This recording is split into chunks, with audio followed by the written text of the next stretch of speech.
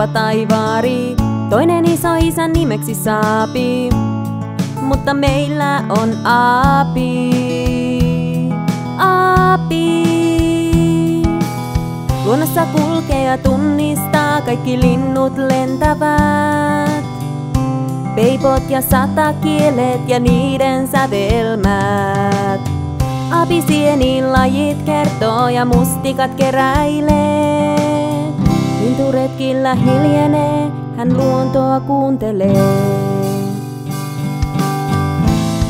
Kuinka ulkona puut heiluu, kun tuuli puhaltaa. Hän huomioon ottaa muu,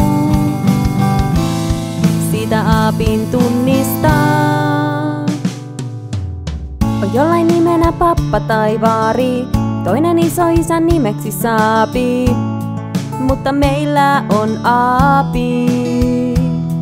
Aapi.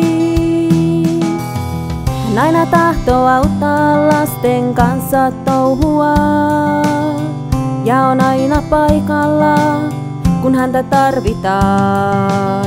Ahkera, kiltti ja taitava ja osaa kaiken korjata.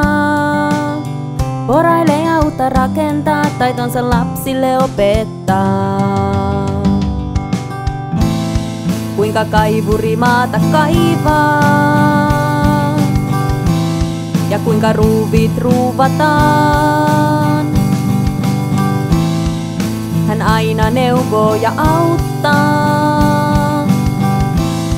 siitä aapin tunnistaa.